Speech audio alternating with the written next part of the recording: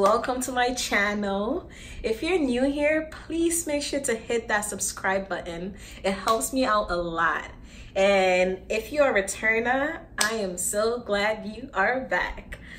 Before we even get into this video, I would like to take the time out to apologize for being away for so long. I know it has been a while since I posted my last video. However, life and just work has just consumed me it has taken up so much of my time, but I'm gonna make the constant effort to stay consistent because this is something that I love to do. I love to film. So we have we've gotten that out of the way. Can we please get into the video? Okay. Since it is back to school season, I have compiled 10 tips or advice that I would give myself or anybody else going back to school. Um, for those of you who don't know, I recently graduated from Binghamton University. So I just graduated from college. I'm freshly new but I got this whole summer to kind of like reflect and think about my experiences, what I did right, what I did wrong. And I think these 10 tips are key. So bring your pen and paper, take notes because I'm about to spill all the tea give you all the gems so that you don't make the same mistakes that I did, or you can benefit from things that I think I personally did right. Okay? So, my first tip is your freshman year matters. Yes, I said it. You heard it here first. Um, going into college, a lot of people said, yeah, your first year you get to do whatever you want because it's not going to affect your GPA, or you could build your GPA up. No, that is wrong. That's false. Whoever told you that, they don't like you. Don't listen to them. Honestly, freshman year, I would say is one of the easiest year. So why not use that opportunity to build up your GPA? Because it only gets harder from there, right? So freshman year, go hard on your classes. Um, build your GPA. Yeah, you can have fun too. However, focus on your GPA and build that up because it only gets harder. The classes get harder. So don't take your freshman year lightly. For me personally, I was never a slacker. Like, if I was gonna if I'm gonna do anything, I'm gonna make sure that I put my best and my all into it. And freshman year, I came into college like straight out of Senegal, straight out of my gap year. So I was like excited and ready to learn. Like I was so motivated. Like nobody was gonna tell me nothing. Like I took my freshman year very seriously, and that helped me out a lot. That helped me build my GPA. And because I had that strong GPA, I didn't want to like see it go down so i kept building up from there. So yeah don't take your freshman year lightly y'all. My second advice is pertaining to finances. Your loans y'all don't take loans if you don't have to. At the uh, refund check might seem very hefty very juicy. You're balling you know you got that refund check. However you have to think about the future. You're gonna have to pay this off with interest. And one thing that I'm learning right now is that you can't build wealth if you're in debt. Let me say that again. You can't build wealth if you're in debt. And these decisions start from here when you're taking loans from school, little loans, and you think you're gonna be able to spend it here and then pay it off later don't do it if you don't have to. I know obviously there are reasons there's some financial circumstances where you have no other option but to take out the loans. That is understandable but i'm telling y'all now like don't do it if you don't have to because you're gonna have to then pay it off with interest. And by the time you realize you're to be working outside of college and all your paycheck is going to loans because you made wrong financial decisions in college. Um for me personally I took loans my freshman year because I absolutely had to. Like, if I didn't have those loans, I wouldn't be able to kind of like pay for my classes and live on campus because we we had to live on campus our first year. So once I moved off campus, I think I I didn't even take any loans after that. I was able to kind of my Pell Grant and my FAFSA was able to pay for my tuition and the refund that I got from that, I was able to pay my rent outside of um, the dorm situation. And my third year, I was able to apply for RA and move back on campus. So that worked out for me. But um, yeah, my first year I took out a lot of loans. Like my parents couldn't afford to help me. So I had to do it on my own and loans were the only option. My next tip is to find a strong medium and a balance between education life and your social life.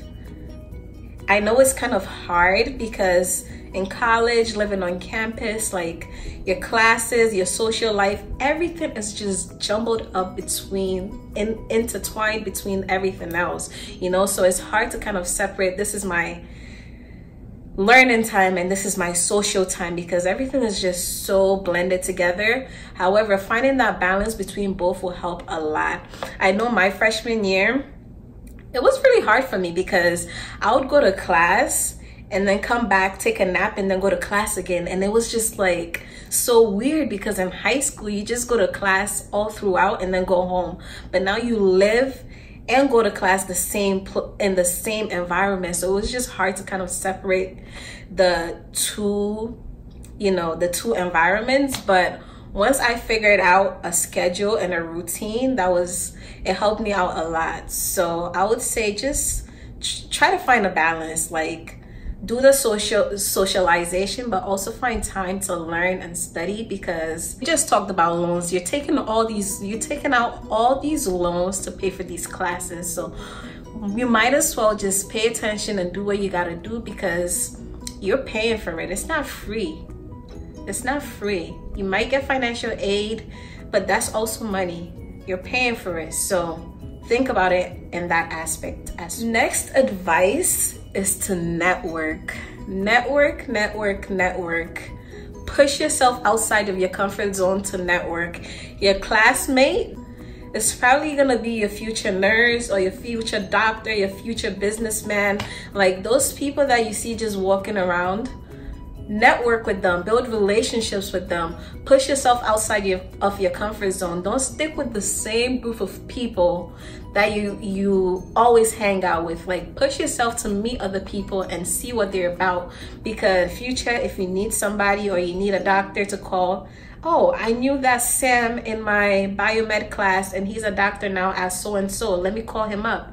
Or you're in a sticky situation and you need a lawyer and you're like wow i took that political science class with so and so thank god i didn't burn bridges with them. Let me call them up and see what they're up to. You know? Network build relationships put yourself push yourself outside of your comfort zones. It's not always you have to stick with the same three to four people that you always hang out with. I'm telling you it will do you a lot of good if you know more diverse group of people my next tip is to take a diverse range of courses in college, especially your first and second year if you're still trying to explore, trying to figure out what you like and what you don't like and what you would like to major in. Take advantage of those wide range of courses that colleges offer you know i remember my freshman year i signed up for this two credit class called called can animals speak like it seemed very out of this world to me. Like can animals speak? I don't know. You tell me. Like it just seemed very interesting to me so i decided to sign up. Why not? It's a two credit. And just because of that class it kind of set me up for my next three years.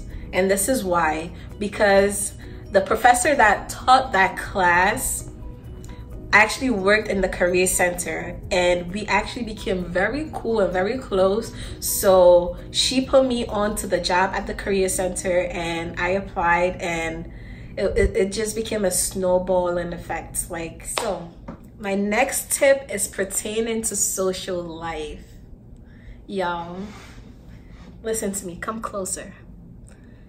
You have to learn now that people come and go okay and that has nothing to do with you or who you are as a person. People what? Come and go. And honestly, you can't blame them either. Like college is a place where people are growing, experimenting, trying new things, you know? So if me and you fit now doesn't necessarily mean like next semester or next year me and you are gonna fit. Like people grow apart people grow together. Like college is just a one big crazy show. Honestly i'm never gonna lie to you. Like things go down in college. Like people have mental breakdowns. Like people go through stuff in college. So don't take things that people do to you as a reflection of who you are because they might have something going on in their life or in their corner that you have no you have no take in or you have no understanding about or you don't even know it's going is going on. So just be there for people as much as you can. Honestly at this point i've even lost count of what tip i'm on so we're not even gonna number them anymore. So my next one my next advice or a tip or something that i want you guys to take advantage of is the resource centers or the resources that you have in your specific colleges you guys are paying for this the career center, the counseling center, your professors. These are all resources that you have at your, at your fingertip that most people don't take advantage of. Take advantage of it now. Like, set up a time, set up a schedule so that you can go speak to a counselor. Set up a time so you can visit that career center to get your resume checked set up a time to go to office hours to speak to your professor your grades are in their hands right like just take advantage of all the resources you have available. Don't just get stuck in your room doing nothing, watching Netflix all day. It's not gonna do you no good. You're only there for four years. Maximize your time, maximize your resources.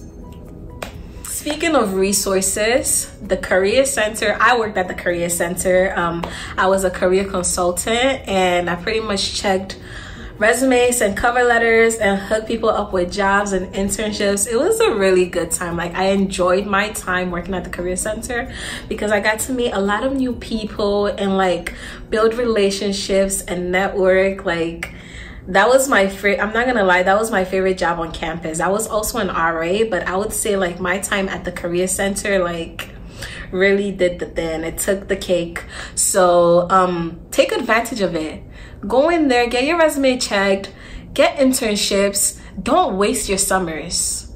Don't waste your summers. Go in there, get, get your resume checked, plan ahead of time so that you can get secure that internship that you want. If you want me to do another video on like how to secure an internship or stuff pertaining to job and internship search, please leave it in the um, in the comment section below because this is something that I'm passionate about. Like, I want everybody to be able to have a job outside of college. You need to be making plans for the future while you're in college. And yeah, if you want me to speak more on that, make sure to comment in the um, comment section below and I'll be sure to provide that as well. My next and final advice is to make sacrifices. Like, you're only in college for this period of time, and your life is this big like you have so much more to live and experience right so if you've made that decision to commit yourself to four years of college make those four years worthwhile okay? So make those sacrifices that you have to come up with a plan write out your goals and make sure that you're making plans make sure that you're actually taking steps to achieving those goals. You might get sidetracked which is inevitable but always go back to your goals and plans and make sure that you're working towards them. College is so much different from high school you make these decisions yourself. Nobody's gonna tell you to wake up and go to class. Nobody's gonna tell you to do your homework. Nobody's gonna tell you to complete that assignment. You have to find that within yourself to do that. So that comes with setting up the goal, coming up with a plan, and knowing what you're there for and doing what you gotta do so you could get out in that four years.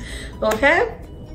I hope you guys learned a thing or two from this video. These are all things that I did or I personally wish I knew going into college. So I hope this helped you out a lot.